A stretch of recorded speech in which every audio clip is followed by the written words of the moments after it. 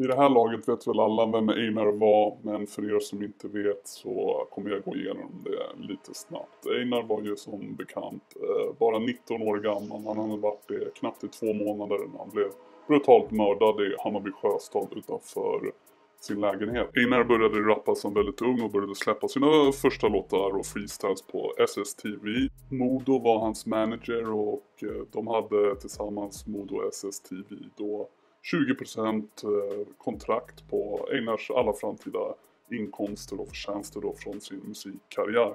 Eftersom de hjälpte att backa han med producenter och alla omkostnader egentligen musikvideos och även street cred då för Einar som var gangsterrappare. Einar får väldigt mycket uppmärksamhet för sina låtar men även sina freestyles online. Och i början av 2019 släpper han då Katten i trakten som fullständigt exploderar och gör han en superstjärna kan man säga över natten. Det som händer sen, vad jag har fått höra, det vill säga rykten här. Så lyssna väldigt noga nu. Rykten och det jag har fått höra från många olika ställen och källor är att efter det och Einar börjar släppa låtar och videos efter Katter i trakten som sagt, det går otroligt bra för honom så börjar det skära sig mellan honom och hans kontakter i dalen. Det jag har fått höra är att Einar försöker ta sig ur ja, det här kontraktet eller överenskommelsen han har då med folk från dalen där han betalar om 20% av sina intäkter vilket är miljonbelopp vid det här laget. Och det vi har fått höra då är att Einars mamma lägger sig i och mer eller mindre då ska manipulerat Einar eller hur man nu vill uttrycka det att fiffla lite och gå runt eh, lite mer kontraktsmässigt då att uh, ta sig ur det här kontraktet och då istället för att släppa musik fortsatt under SSTV då istället gör det under det nya produktionsbolaget NS1 och på så sätt ja, kommer runt överenskommelsen med SSTV eller hur man nu vill uttrycka det, folk från Dalen då som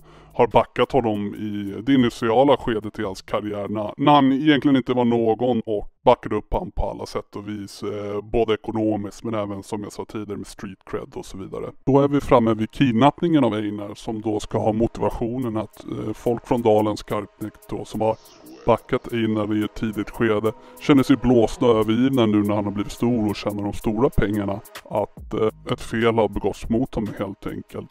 Och då beblandar de in eh, Vårby då som de ska ha täta kontakter med sedan tidigare.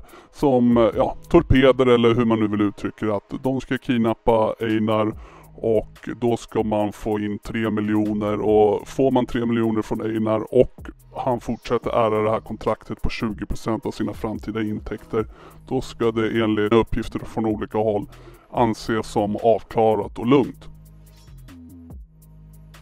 Men riktigt så blir det inte. Einar som sagt misshandlas, kidnappas, förnedras helt enkelt och kläs ut i kvinnokläder, peruk, även hundkoppel och misshandlas grovt och det tas väldigt förutmjukade bilder på honom i hopp om och då att de här bilderna och hot om att läcka dem kommer förstöra hans eh, lukrativa karriär och skämma ut han så och han kan inte fungera som gangsterrappare i framtiden.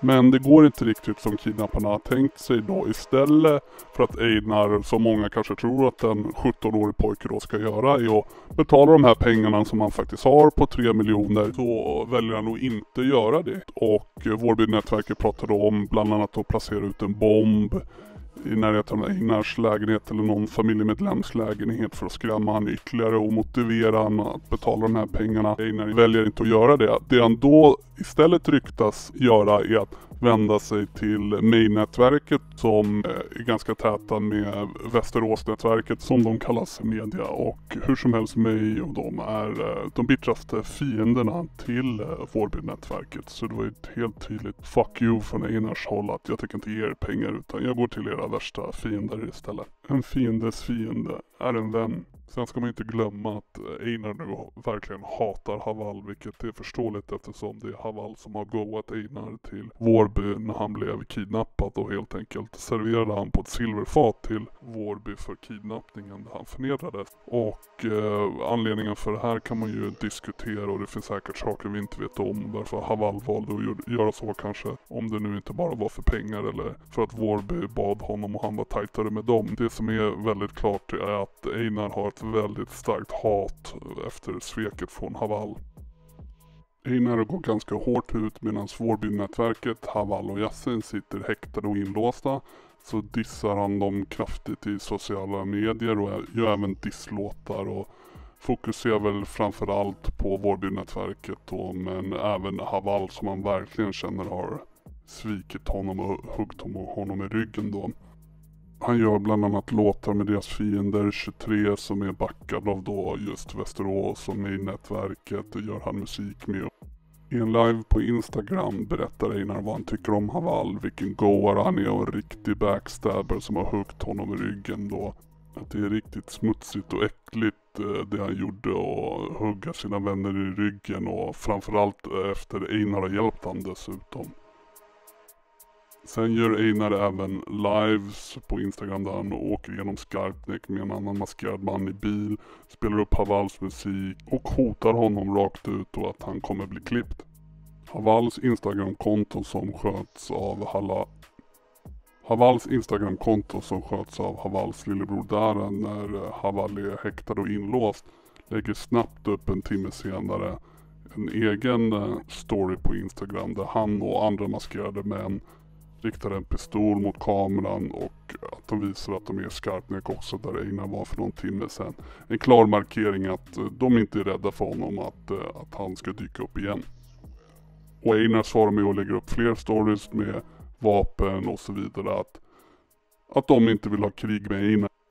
Nu är det 2021 och vi börjar närma oss. Det ryktas och jag pratar om att det ryktas. Det här är bara rykten, ni kan tro dem eller inte men vi har hört det här från många olika håll. Men som sagt, det är helt och hållet bara vad vi har hört och ska bara tas som rykten. Men det är att Einar har satt eh, pengar på deras huvud och Havals lillebror och skottpengar helt enkelt på. Om man dödar honom så får, så får man en större summa pengar.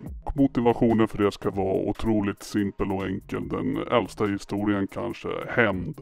Och eftersom Einar inte kan komma åt Haval som sitter i häktet så väljer han att lägga pengar på Daras huvud.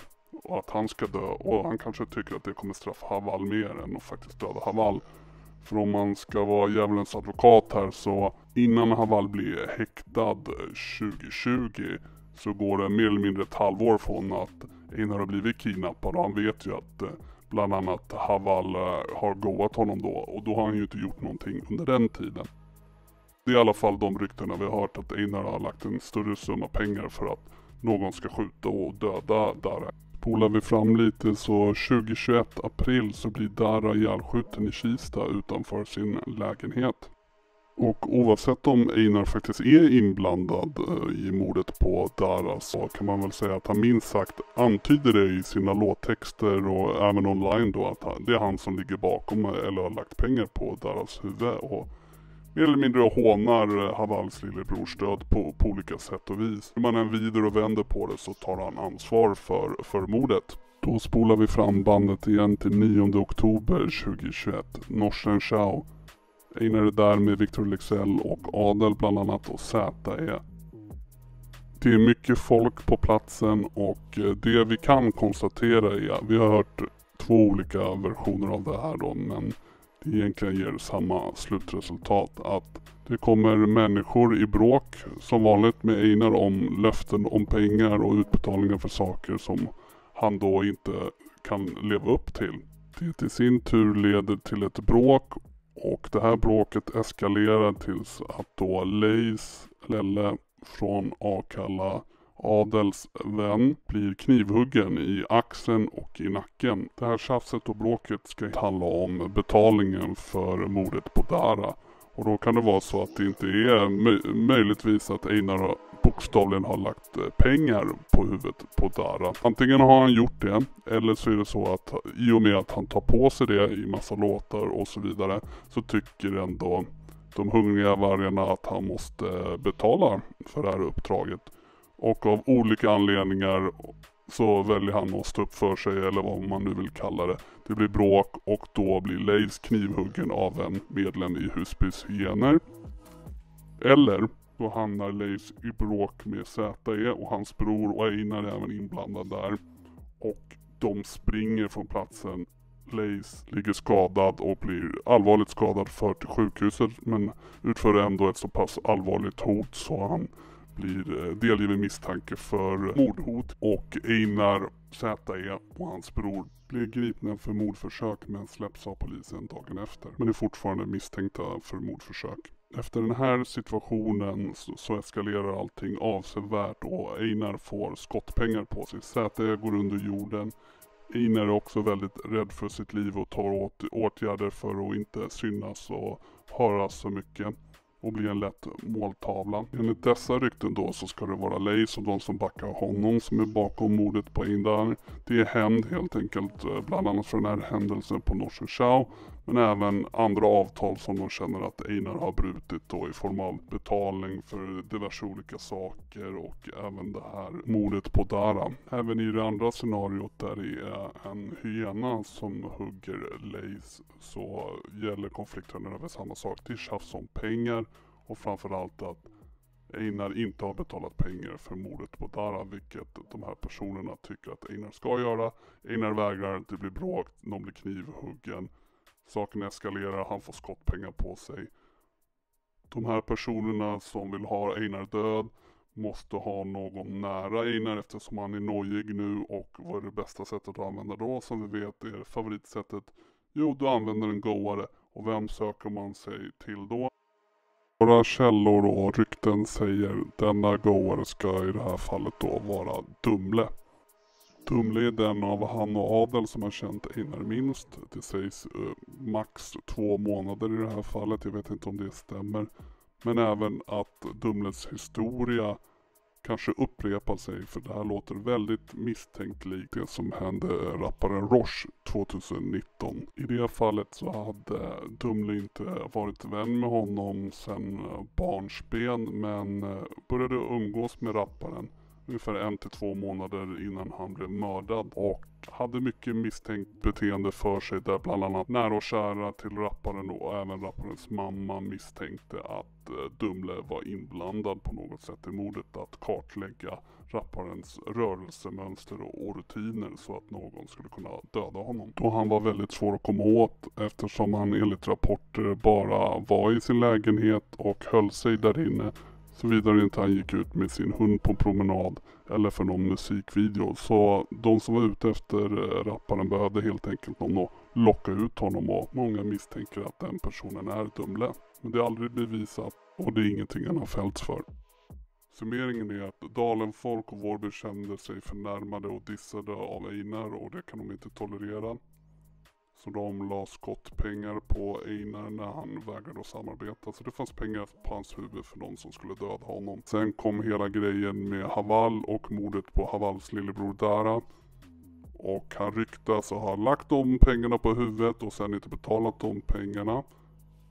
Eller att eftersom han tog äran, eller hur man nu ska uttrycka det i låttexter och så vidare, antydde att han låg bakom det så borde han därför också även betala personerna som utfört uppdraget. Det gjorde han inte. Då lades det ytterligare pengar på hans huvud och folk ville hellre se honom död än levande och inkasserade pengarna på så sätt. Vila i frid.